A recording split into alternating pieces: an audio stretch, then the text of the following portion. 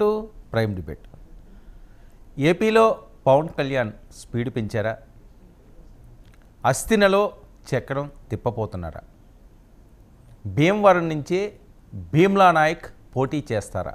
ఇవన్నీ కూడా సోషల్ మీడియాలో చక్కర్లు కొడుతున్న అప్డేట్స్. సో ఈ పరిస్థితుల్లో పవన్ కళ్యాణ్ గారు ఢిల్లీ ప్రయాణం ప్రత్యేక సమావేశం సుమారు వంద మంది అభ్యర్థుల లిస్టుతో అంటే ఇప్పటివరకు కూడా తెలుగుదేశం పార్టీ జనసేన ఉమ్మడిగా వంద మంది అభ్యర్థుల్ని ఖరారు చేసినట్టు.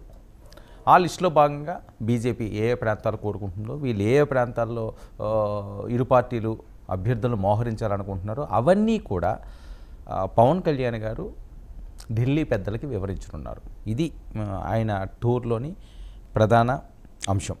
భీమవరం నుంచే పవన్ కళ్యాణ్ పోటీ తెలుగుదేశం పార్టీ శ్రేణులందరూ కూడా ఆయనకి మేము పూర్తి స్థాయిలో రికార్డు స్థాయిలో మెజారిటీ వచ్చేలా మేము గెలిపిస్తామని చెప్పి వాళ్ళని కూడా మాట ఇవ్వడం జరిగింది. సో భీమవరం బరిలోనే మళ్ళీ పవన్ కళ్యాణ్ గారు ఉంటుంది. మరొక వైపు నేను జనసేన పార్టీ పెట్టింది కాపుల కోసం కాదు. అన్ని వర్గాల కోసం నేను పార్టీని పెట్టాను అని చెప్పి ఈరోజు పవన్ కళ్యాణ్ గారు కొండ బద్దలు కొట్టారు. మరొక అంశం సంఖ్యాబలం కులాలది అధికారం మాత్రం జగన్దా? ఆయన కొద్దిసేపటి క్రితం మాట్లాడుతున్న అంశాలన్నీ. అంతేకాకుండా ఇంకొక కీలకమైన అంశాలు పవన్ కళ్యాణ్ గారు ప్రస్తావించారు. అది పెద్ద ఎత్తున వైరల్ అవుతుంది. ఆ- బయట కూడా నేను వినిపిస్తాను. మళ్ళీ నేను ప్రత్యేకంగా దాని గురించి చెప్పడం బయట విన్నా కూడా సేమ్ అదే ఉంటుంది కాబట్టి రిపీట్ అవుతుంది. ఆ- అప్డేట్స్ ఏంటి అన్నది.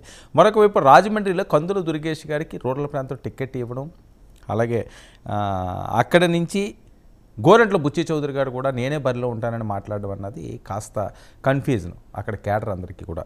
ఇవన్నీ ఏపీలో హాట్ హాట్గా పొత్తుల అంశంలో కొనసాగుతున్న చర్యలైతే సిద్ధం సభలతో సత్తా చాటాలని జగన్మోహన్ రెడ్డి గారు చూస్తున్నారు. ఆయన స్టైల్లో ఆయన దూసిపోతున్నారు ఇదే ఇష్యూపై నటి ప్రైమ్ డిబేట్ కొనసాగిద్దాం. మనతో పాటుగా చర్చలో పాల్గొంటున్నారు శేఖర్ రెడ్డి గారు జనసేన అధికార ప్రతినిధి. మనతో పాటుగా లైవ్లోకి అందుబాటులోకి వచ్చారు. అలాగే గాయత్రి గారు టీడీపీ అధికార ప్రతినిధి కూడా మనతో పాటుగా లైవ్లో జాయిన్ అయ్యారు. రావి సౌజన్య గారు జనసేన అధికార ప్రతినిధి కూడా మనతో పాటుగా లైవ్లోకి అందుబాటులోకి వచ్చారు. మరి కాసేపట్లో కేఎస్ ప్రసాద్ గారు రాజకీయ విశ్లేషకులు కూడా మనతో పాటుగా లైవ్లోకి అందుబాటులో ఉన్నారు ముందుగా సౌజన్య గారి వెర్షన్ తీసుకుందాం. సౌజన్య గారు ఏంటి భీమవరం బరిలో మీ భీమ్లా నాయక్ గారట? అసలు మీ క్యాప్షన్స్కి ఎక్కడ బ్రేకులు ఉండవు. ఆల్రెడీ సోషల్ మీడియా అంతా షేక్ చేస్తున్నది. భీమవరంలో భీమలా భీమవరంలో భీమలా అని. ఏంటి అదే ఎంచుకోవడానికి ఏమైనా ప్రధాన కారణం ఉందా? అంటే మొదటి నుంచి కూడా విశాఖపట్నం కానీ భీమవరం కానీ అనుకుంటున్నాము. అయితే అఫీషియల్గా కళ్యాణ్ గారి నోటి నుంచి రాకపోయినా కూడా భీమవరం కన్ఫర్మ్ అని చెప్పని ఈ రోజు జరిగే సభలు కానీ లేదా కలుస్తున్న నాయకులు బట్టి కానీ ప్రతి ఒక్కరికి అర్థం అవుతుంది కాబట్టి భీమవరం నుంచి పోటీ చేసే అవకాశం పూర్తి స్థాయిగా ఉందని చెప్పని ప్రతి ఒక్కళ్ళు అనుకుంటున్నారు. అలానే ప్రచారం కూడా జరుగుతుంది సోషల్ మీడియాలో. ఎందుకంటే ఫస్ట్ నుంచి కూడా ఎక్కడ ఆయన ఓటమి పాలయ్యారో అక్కడి నుంచి గెలవాలని గెలిపించుకోవాలని చెప్పి మా అందరి తాపత్రయం. కాబట్టి ఆ రెండు ఆ రెండు ప్రాంతాల నుంచే ఆయన పోటీ చేయాలని చెప్పని మా అందరి ఆకాంక్ష కూడా. సో దాన్ని భీమ- భీమవరం ఎంచుకున్నారు అంతేనండి. ఓకే. మాట్లాడండి సౌజన్య గారు వినిపిస్తుంది. శేఖర్ శేఖర్ రెడ్డి గారు సారీ మిమ్మల్ని జనసేన చేస్తేనట్టు నేను.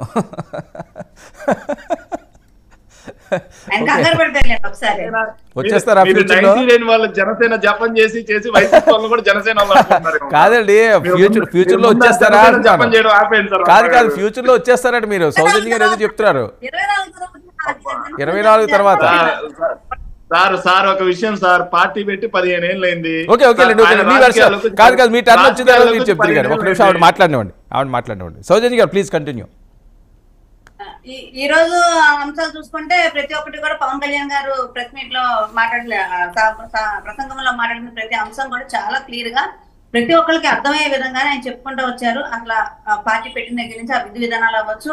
ఆయన అంటే ఈ విధానాలను ముందుకు తీసుకెళ్ళే క్రమంలో ఎంత తగ్గుతారు అనే విషయాన్ని అవ్వచ్చు. లేదంటే కొన్ని కొన్ని ప్రజలకి ఆ, అవసరమయ్యే వాటి విషయంగా ఏ స్థాయిగా కూడా తగ్గి ఆయన ప్రజల్ని ముందు పెట్టాలని చూస్తారా అనేది ప్రతి అంశాన్ని కూడా ఆయన చెప్పడం జరిగిందండి. దాన్ని బట్టి మనకు అర్థమవుతుంది ఏంటంటే నాయకుడు అనేవాడు ఆధిపత్యం చలాయించేవాడు కాదు. ఖచ్చితంగా అందరినీ కలుపుకొని వెళ్ళి కోఆర్డినేషన్ చేసుకొని బలపరిచేవాడని చెప్పని చెప్పడంతో పాటు ఎన్నికల్లో ఖర్చు పెట్టే విషయం అవ్వచ్చు. ప్రతి అంశాన్ని కూడా చాలా క్లియర్గా తీసుకొచ్చారండి. ఇంకా అంటే జనసేన శ్రేణులు నాయకులతో పాటు ప్రతి ఒక్కరికి కూడా జనసేన విధి విధానాలు ఏంటి జనసేన పార్టీ పెట్టిన తర్వాత దగ్గర నుంచి చేసే క్రమం ఏంటి పవన్ కళ్యాణ్ గారి ఆలోచన విధానం ఏంటి ప్రతి అంశాన్ని కూడా చాలా పోసకొచ్చినట్టుగా ఆయన చెప్పడం జరిగింది. అంటే ప్రతి అం- ప్రతిసారి ఆయన ప్రసంగాల్లో ఆ, ఒక్కొక్కటి ఒక్కొక్కటి వస్తానే ఉంటాయి. కానీ ఈసారి అన్ని అంశాలని కూడా ఒక ప్రసంగంలో తీసుకోవడం జరిగింది కాబట్టి అది మనం ప్రత్యేకంగా చర్చించాల్సిన విషయం కాదు. అంటే చర్చించాల్సిన విషయం కాదంటే ఆ కొంతమందికి అంటే వైసీపీ వాళ్ళకి వీళ్ళకో పెద్దాక వాళ్ళు ఏదో మాట్లాడుతూ ఉంటారు కదా. అలా అంటారు ఇలా అంటారు ఇలా అంటారు అని కానీ కనీసం ఈ స్పీచ్ పూర్తిగా విన్న తర్వాత అయినా ఆ యాభై నిమిషాల స్పీచ్ పూర్తి స్థాయిగా వింటేనన్నా సరే అంటే ఈ కటింగ్లు ఒక నిమిషం బయ- బయట పెట్టి ఇంకొక సెకండ్ బయట ఆపేసి ఇలాంటివి కాకుండా మొత్తం ఆ స్పీచ్ అంతా వింటే అసలు పవన్ కళ్యాణ్ గారి ఆలోచన విధానం ఏంటి? ప్రజల కోసం ఆయన చేయదలుచుకుంది ఏంటి? అసలు పార్టీ విధానం ఏంటి? ఇవన్నీ కూడా పూర్తి స్థాయిగా వాళ్ళకి అర్థం అవుతాయి కాకపోతే ఇక్కడ ఇవన్నీ ఫేక్ వ్యవహారాలు కాబట్టి వైసీపీ వాళ్ళందరూ అన్ని ప్రతి అంశం కూడా వాళ్ళకి ఫేకే కాబట్టి ఆ మాట్లాడిన అంశంలోనే ఒక అర మొక్క ఒక అర నిమిషం ఒక నిమిషం తీసి ఆ మొక్కలు మొక్కలు కట్ చేసి అయ్యి ఏంటి ఆల్రెడీ ఆల్రెడీ అన్న ట్రోల్ చేస్తున్నారా ఏంటి? ఇంత ఖచ్చితంగా చెప్తున్నారు మీరు? ఇప్పుడు ట్రోల్ చేస్తున్నారు నేను ఇంకా చూడలేదండి. ట్రోల్ చేస్తున్నారు లేదా నేను చూడలేదు. ఆ, వాళ్ళు వాళ్ళు చేసే పనే అదండి. వాళ్ళు ఫస్ట్ నుంచి చేసే పని ఏంటంటే ఆయన చెప్పే మంచి అంశాలను వదిలేసి ఆ అంశాలు చెప్పే క్రమంలో ఆయన నేను ఉదాహరణ చెప్పినా లేకపోతే ఇంకోటి చెప్పినా వాటిని తీసుకొచ్చి ఆ సగం సగం ముక్కలు కట్ చేసి నిమిషం అర నిమిషం వీడియో ప్లే చేసి దాన్ని ముందు వెనక కట్ చేస్తారు అదేదో అర్థం కాదు. పూర్తి స్థాయిగా అలాంటి రాజకీయాలు చేయడంలో వైసీపీ దిట్ట అనేది నేను చెప్తున్నానండి. ఓకే ఏంటి ఢిల్లీ అస్థిని కబుర్లు ఏంటి? సౌజన్య గారు. ఆ హత్యల కబుర్లో అయితే మాత్రం ఖచ్చితంగా పవన్ కళ్యాణ్ గారు ఇప్పుడు ఎలక్షన్ నోటిఫికేషన్ వచ్చే క్రమంలో ఏదైతే Janasena TDP Janasena BJP TDP ఈ మూడు మూడు కలిసి వచ్చే క్రమంలో పవన్ కళ్యాణ్ గారు ఇనిషియేట్ తీసుకున్నారు కాబట్టి ఖచ్చితంగా అక్కడ ఈ అభ్యర్థుల లిస్ట్ కానీ లేకపోతే ఏంటి ఎలాగా ఏంటి అనేది ఫైనలైజ్ అయ్యే పరిస్థితి ఉంటుందని మేము భావిస్తున్నాం. ఇప్పటికే వంద మందిని అభ్యర్థులు సిద్ధం చేశారటండి జనసేన టీడీపీ నుంచి వస్తున్న ఇన్ఫర్మేషన్ సో ఆ వంద మంది లిస్టుతో పవన్ కళ్యాణ్ గారు బీజేపీ ముందు కూడా అది ఉంచుతారు. ఇంకా డెబ్బై ఐదు బ్యాలెన్స్ ఉంది కాబట్టి అందులో అడుగుతారా? లేకపోతే ఇందులో వాళ్ళు ఏమైనా ఎక్స్పెక్ట్ చేస్తున్నారా అన్నది ఒక క్లియర్గా ఒక పిక్చర్ వచ్చే అవకాశం ఉంది అని చెప్పి వస్తున్న టాక్ నిజమా? అంటే మీరు ఫిగర్లు చెప్తున్నారు. ఫిగర్లు అయితే అంటే మీకు తెలిసిందేమో కానీ మీడియా పరంగా- మాకైతే పార్టీ పరంగా ఇంకా పూర్తిగా ఫిగర్లతో రాలేదండి. వెళ్తున్నారు ఆ ఫైనల్ అవుతాయి. ఆ ఎన్ని ఏంటి అనేది వచ్చిన తర్వాత వాళ్ళు చెప్తే మాత్రమే మాకు తెలుస్తుంది.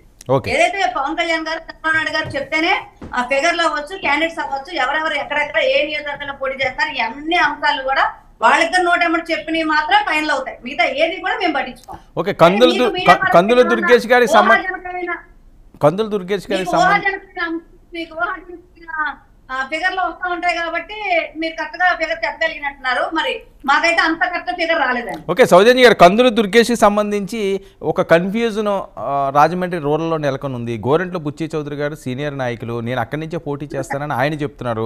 పవన్ కళ్యాణ్ గారు ఏమైనా కందుల దుర్గేష్ ఇక్కడి నుంచి పోటీ చేస్తున్నారని ఈయన చెప్తున్నారట. ఈ ఒక్క అంశంలోనే ఇద్దరికి సయోధ్య లేకుండా ఎవరికి వాడు మాట్లాడితే చెప్పలేదండి. ఇంకా కళ్యాణ్ గారు డైరెక్ట్గా అనౌన్స్ చేయలేదు కందుల దుర్గేష్ గారు కానీ కాకపోతే ఆయనే పోటీ చేస్తారన్న ఉద్దేశంతో అంటే అర్థం ఏంటి దానికి ఆయనే పోటీ చేస్తారంటే సరదాగా కొద్దిసేపు పోటీ చేస్తారు తర్వాత ఉండకపోవచ్చనా?